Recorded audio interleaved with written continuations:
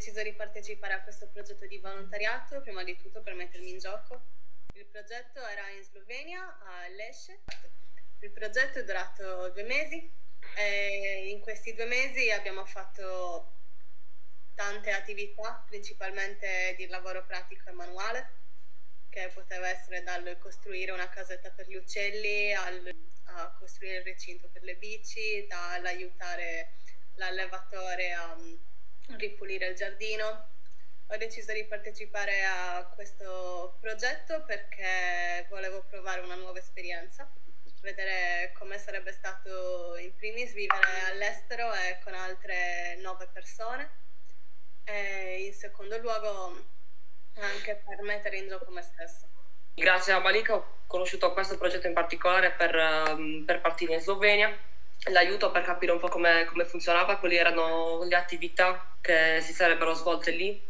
In primis ho imparato a convivere con nove persone. In secondo luogo eh, a rapportarmi ad altre culture diverse, altri punti di vista diversi, ricercando un dialogo, un dialogo che non fosse comunque eh, conflittuoso, un tipo di dialogo che fosse aperto, eh, un confronto.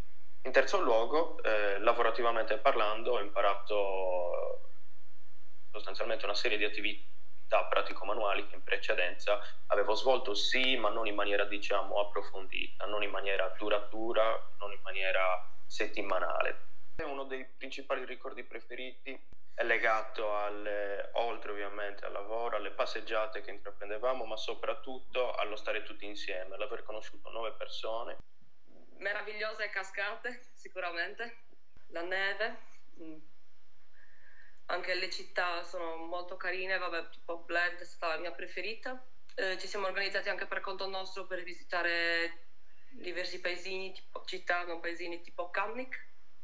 Allora, nel mio caso personale ha coperto l'85% delle spese di viaggio per il semplice motivo che purtroppo trovandoci in questa particolare condizione siamo stati costretti a fare degli scali. Tuttavia una copertura pressoché totale e oltretutto settimanalmente eh, l'organizzazione ci forniva del denaro, circa 5 euro al giorno, eh, ossia 63 euro settimanali, per, eh, per, il cibo e per i viveri. Ci è stato rilasciato il certificato Pass, dove abbiamo, allora praticamente ci sono le, che, le attività che abbiamo imparato a svolgere. La principale competenza che abbiamo imparato in questo periodo sicuramente il self-control, poi vabbè parlare un po' di inglese, qualche parola di sloveno, adattarmi vivendo con nove persone, cercando di venire incontro un po' a tutti, anche a gestire magari appunto come ho detto che quei soldi che, che ci davano, che si conoscono nuove persone, si